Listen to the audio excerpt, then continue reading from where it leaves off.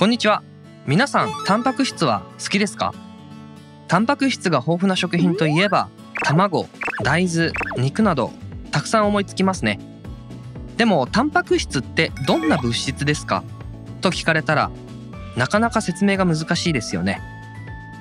前回の糖質と同じようにこれから知っておきたいタンパク質の性質について説明していきますのでこの質問にもバッチリ答えられるようになります。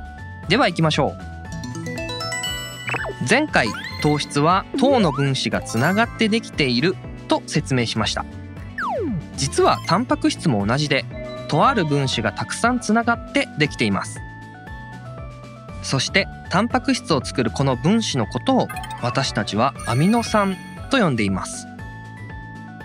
タンパク質はアミノ酸がたくさんつながったものだったわけです。アミノ酸も商品広告などでよく聞きますよね。どういう物質なんでしょうか？アミノ酸はアミノ基とカルボキシル基を持つ化合物のことです。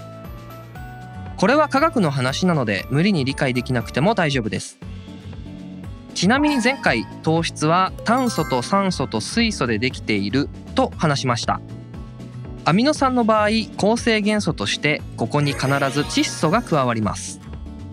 とりあえずこれだけ大事なことなので覚えておきましょう。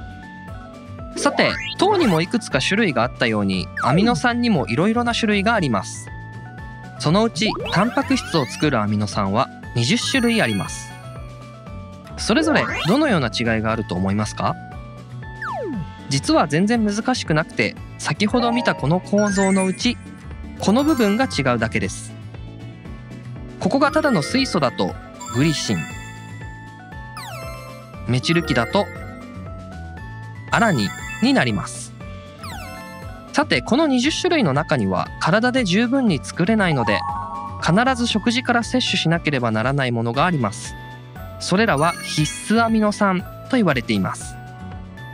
具体的にはフェニルアラニンロイシンバリンイソロイシンスレオニンヒスチジントリプトファンリジンメチオニンの9種類です。プロバイス独り占めという語呂覚えがメジャーですね。タンパク質とアミノ酸について基本的なところが理解できたでしょうか？さてさて前回の動画で糖と糖はグリコシド結合で手をつなぐことができるという話をしましたがアミノ酸とアミノ酸はどうなんでしょうか？先ほどからイラストで見ている通りアミノ酸もお互いに手をつなぐことができます。そしてこの結合はペプチド結合と呼ばれています。そのためアミノ酸が2つつながったものはジペプチド。3つだとトリペプチドと言われます。余談ですが科学では123をモノジトリと表現するのでこの機会に覚えておきましょう。ちなみに日常用語でも結構見かけます。話を戻しましょう。さらに結合数が多くなるとオリゴペプチド。もっとたくさんになってくるとポリペプチドと呼ばれこれが数百個レベルでつながったものがタンパク質と呼ばれます。イラスト上では数百個は書けないので少なくしていますが実際のタンパク質はそれくらいアミノ酸がつながっているわけです。ポリペプチドとタンパク質の境界は特に決まっていません。さて前回の動画で人はご飯などの糖質を単糖まで分解して吸収すると解説したのを覚えているでしょうか？タンパク質も同じで消化酵素によってアミノ酸まで分解してから吸収します。消化管から吸収されたアミノ酸は体の中で必要に合わせて再び組み立てられさまざまなタンパク質に合成されます。合成されたタンパク質はホルモンや酵素としてまたは体のいろんな組織を作るために使われます。よく聞くコラーゲンなどもタンパク質です。それだけではなく体はタンパク質を糖に変換してエネルギー源にすることもできます。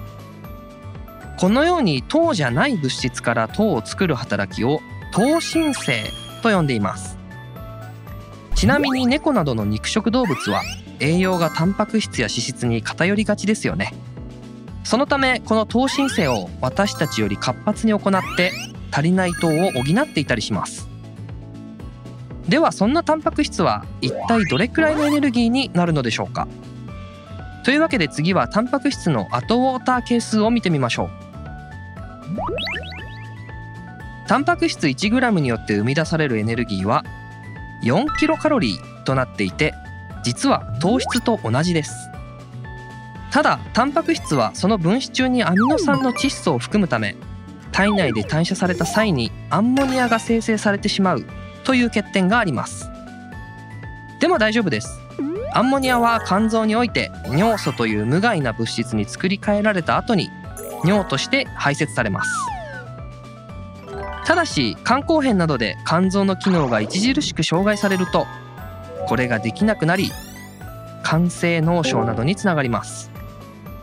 その場合タンパク質の摂取を制限することもあります。はい。タンパク質アミノ酸についての基本的な内容は以上です。ここまで知っておけば消化吸収など他の解剖整理を学んでいく上で困らないと思います。最後に今回の内容のまとめです。穴埋めになっているので解きたい人は一時停止してみてください。タンパク質はアミノ酸がたくさん連なってできています。アミノ酸同士はペプチド結合でつながっています。タンパク質を作るアミノ酸には20種類があります。そのうち人が自分で十分な量を作れないため食べ物によって摂取しなければならないものは必須アミノ酸と呼ばれています。人は消化酵素によりペプチド結合を切断しアミノ酸にして吸収します。アミノ酸は糖と同じようにエネルギー源にすることができます。アミノ酸などを糖に変換する働きは糖新生と呼ばれます。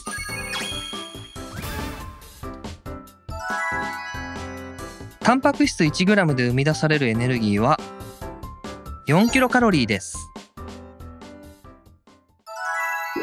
はいまとめは以上です。次回の動画では脂質について学んでいきましょう。それでは